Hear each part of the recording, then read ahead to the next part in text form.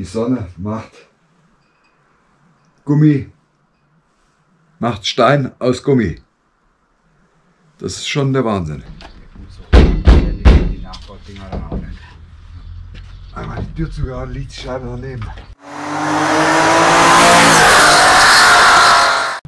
Hallo und herzlich willkommen zu unserem neuen Video. Heute geht es mal wieder an T2. Und zwar will ich da jetzt mal ein anderes Lenkrad montieren. Wie man sieht, ist es ja hier dadurch, dass jetzt die Sitzerhöhung drin ist, diese Tabs, 4 cm, ziemlich knapp zwischen Lenkrad und Sitz. Deshalb will ich ein etwas kleineres Lenkrad montieren. Außerdem auch, weil das Lenkrad, naja, es ist mehr wie ein Schiffsruder. Oder, ja, ich weiß nicht, wie man es jetzt genau nennen kann. Auf jeden Fall halt nicht mehr das Allerschönste. Deswegen geht es jetzt daran, das zu lösen.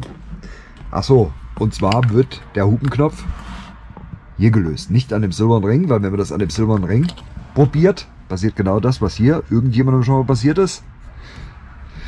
Bricht das raus. Ja, los geht's. Viel Spaß dabei. Und ihr werdet gleich sehen, was von den Lenkrad reinkommt. So, dann löse ich mal hier die 27 Mutter.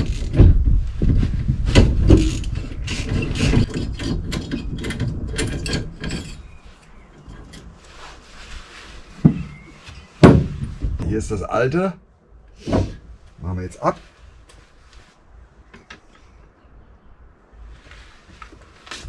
Hier haben wir die Narbe von dem neuen. Kommt hier drauf. Wird jetzt noch nicht verschraubt, weil ich will dann erstmal ein bisschen hin und her fahren und gucken, dass es wirklich auf gerade Auslauf ist. Die Räder stehen zwar auf gerade und das alte Lenkrad war auf gerade, aber naja, nicht, dass es nachher festgezogen ist und steht bei geradeausfahrt schief. So, jetzt wird das Lenkrad hier drauf gesetzt und mit Imbusschrauben an der Narbe verschraubt. Sogar ein Imbus dabei, alles am Mann hier, alles dabei.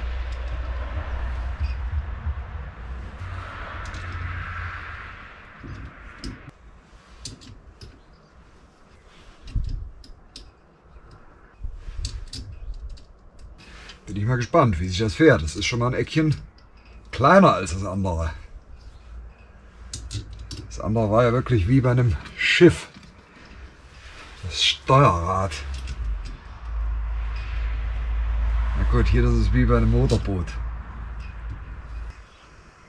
Bei einem Sportmotorboot.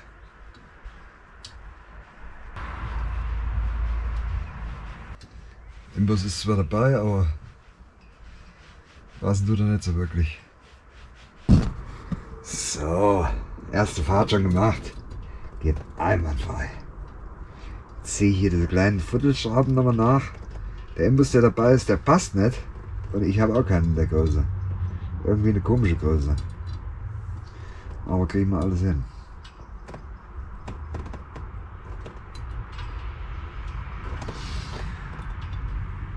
So.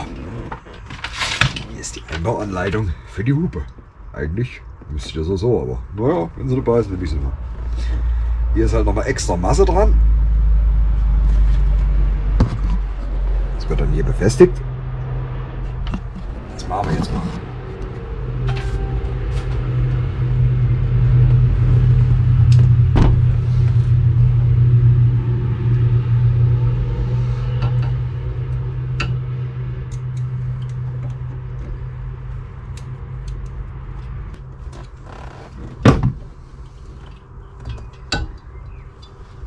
Das Kabel hier drauf.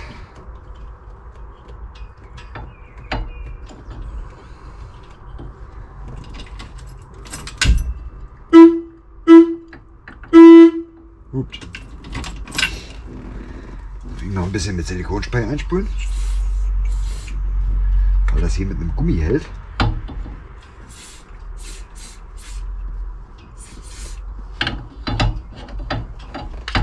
Geht das ein bisschen leichter drauf.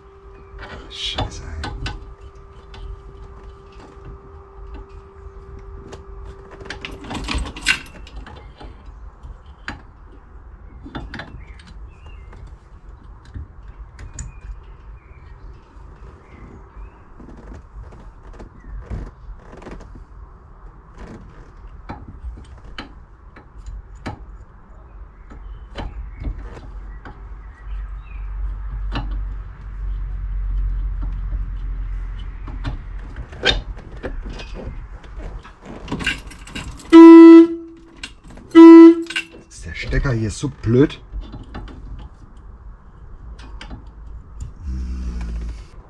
Das Kabel ist natürlich auch sehr kurz.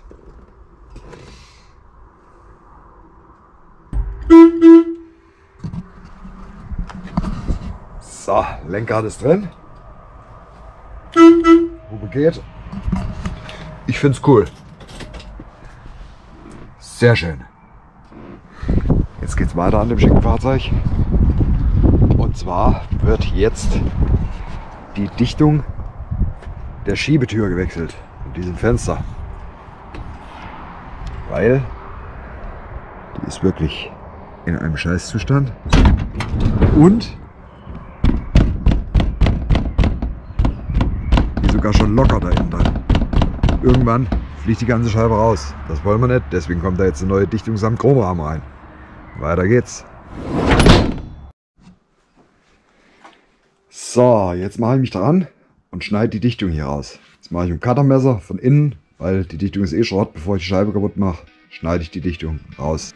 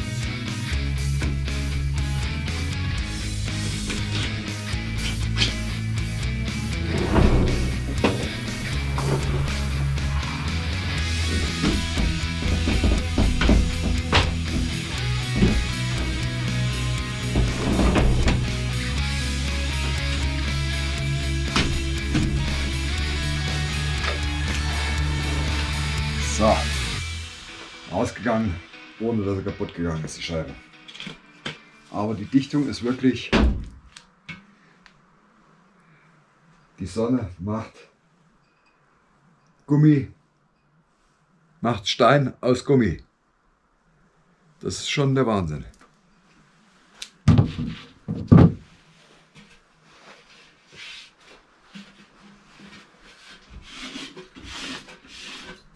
Rahmen ist alles noch top. Ist echt nichts dran. 100% hier ist ja noch. Die Dichtung hier vorne, die ist auch noch gut.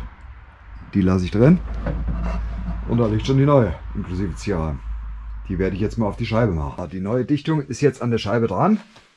Ich habe auch schon eine Wäscheleine oder eher gesagt ein Kabel hier durchgezogen, wo sie dann reingezogen wird mit. Und ganz wichtig, immer richtig schön mit Silikonspray einsprühen. Auf der anderen Seite Zierleiste ist auch drin. Geht halt immer äh, nicht ganz so gut rein. Ich habe da eigentlich extra Werkzeug für, um das einzuziehen. Das Werkzeug habe ich irgendjemand geliehen. Ja, nicht wiedergekriegt. Aber es ging jetzt auch so.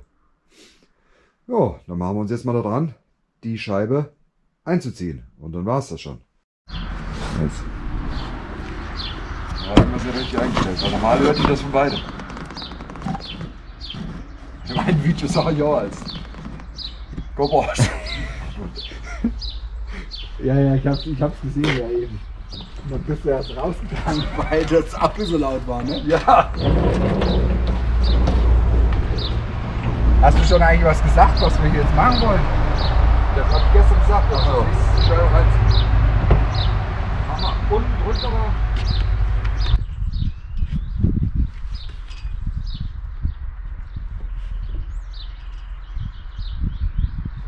Das sieht sie aber schön bei.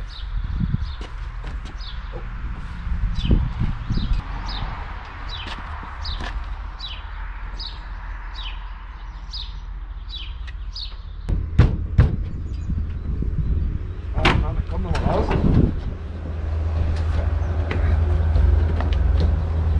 Jetzt. So.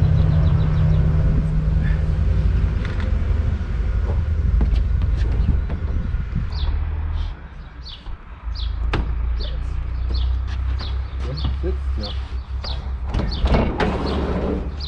Hätte schlechter gehen können. Gut so. Die, die Nachbaudinger dann auch nicht. Einmal die Tür zugehauen, liegt die Scheibe daneben.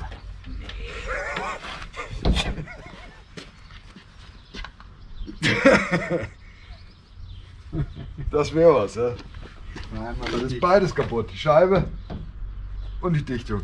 Na gut, die setzt sich noch die Scheibe.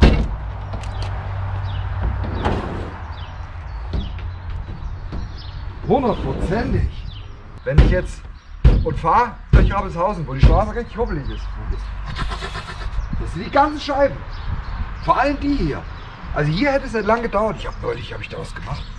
Drückst du, du konntest die ganze Scheibe. Das ist mal innen komplett durchgerissen. Und irgendwann hätte ich die Tür zugehauen. Dann wäre es rausgefallen. Ja. Die Batterie leer gewesen. Das habe ich überhaupt nicht mehr gehabt, seitdem ich das Auto habe. Bin ich mit dem T1 bin ich erstmal 160 gefahren. Dem? Ja, und dann habe ich gelesen, bei der Einlaufphase soll möglichst unter 3000 bleiben. Da hat einer geschrieben, der ist da 600 Kilometer jetzt gefahren, er, hat, er ist jetzt mal 140 gefahren. Und dann haben alle geschrieben, um Gottes Willen. ich habe mal 150 Kilometer gefahren gehabt. Und ich bin gestern den ganzen Tag da gefahren. Ganz Nachmittag. Hundertprozentig, jetzt ganz mit der Regen draußen. So, das war's mit dem Thema Scheibe. Scheibe drin, muss nur noch geputzt werden. Sehen, wer das macht. Ich irgendwann mal wahrscheinlich. Ja, macht ihr die Verabschiedung, oder? Ich habe zwar nicht viel gemacht, aber wenn euch das Video gefallen hat, wie immer, Like da lassen, Kanal abonnieren und bis nächste Woche. Macht's gut. Genau, bis dann. Tschüss. GoPro ausschalten. Äh, nee, Aufnahme stoppen. Jetzt habe ich das wieder vertauscht alles. Aufnahme stoppen.